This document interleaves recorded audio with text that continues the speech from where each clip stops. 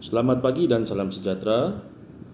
Kita bertemu lagi dalam sesi PDPR Bahasa Melayu bersama dengan saya Cikgu Muhammad Hazni Awang Kasim.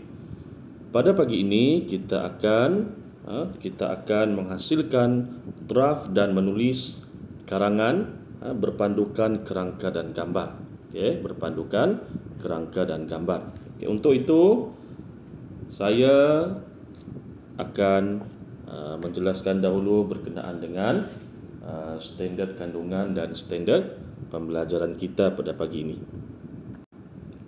Okey, tengok kemahiran bahasa 3.0, kemahiran menulis, standard kandungan 3.3 menghasilkan penulisan dan standard pembelajaran 3.3.1 menulis draft dan menghasilkan penulisan imajinatif. Okey. Sila rujuk buku teks kamu muka surat 112. Buku teks muka surat 112. Okey. Ini adalah tikan dari buku teks muka surat 112. Tajuknya Kuasa Kentang. Okey. Kita ingin menulis sebuah karangan. Masih ingat dalam karangan kita ada pendahuluan, isi, ada tiga isi dan penutup. Dalam bahagian ini, tengok dalam buku tu, pendahuluan dia dah bagi. Ha, isi dia dah bagi draft. Isi satu, isi dua, isi tiga dan penutup juga dia dah bagi. Kita baca dahulu. Okay, kuasa kentang, pendahuluan. Zara dan rakan sekelasnya menyertai pameran sempena Minggu Sains, Teknologi dan Inovasi. Dengan bantuan guru kelas, mereka mengadakan pameran tentang kuasa kentang. Mereka bersama-sama menyiapkan bahan pameran kelas mereka. Boleh faham ha? Okey, tengok nombor satu. Okey, tengok nombor satu. Isi. Ha? Nombor satu kentang. Mentol diod pemancar cahaya LED. Tembaga klip kertas keluli. Ya, isi satu menyediakan peralatan. Bahan-bahan yang diperlukan. Nah, nanti kamu jelaskan ha, menjalankan aktiviti bersama-sama. Isi dua. Tengok gambar nombor dua, memulakan uji kaji, berpandukan langkah kerja, melengkapkan litar. Manakala isi tiga, berdiri di samping bahan pameran yang dihasilkan. Lampu LED menyala, para penonton bertepuk tangan. Ha, penutup, Zara dan rakan-rakannya berasa gembira kerana dapat menyertai pameran Minggu Sains teknologi dan inovasi dengan jayanya. Pengalaman ini tidak akan dilupakan oleh mereka. Okey, baik sekarang kita hendak menghasilkan karangan. Pendahuluan dan penutup sudah diberi. Okey, ini pendahuluan. Nanti awak tulis dalam buku, tulis pendahuluan dia dah bagi, kamu tulis saja, salin semula. Sekarang kita tengok selepas pendahuluan masuk apa? Masih ingat?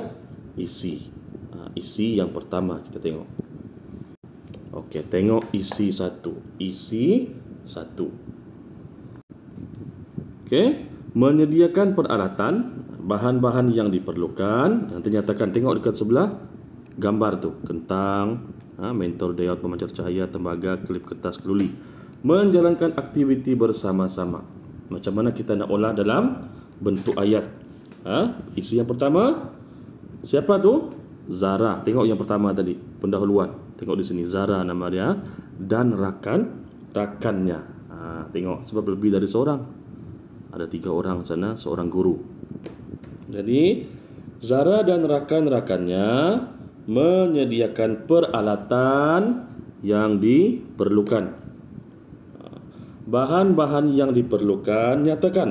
Ha, bahan-bahan yang diperlukan ialah kentang, mentol, diod pemancar cahaya LED, tembaga dan klip kertas.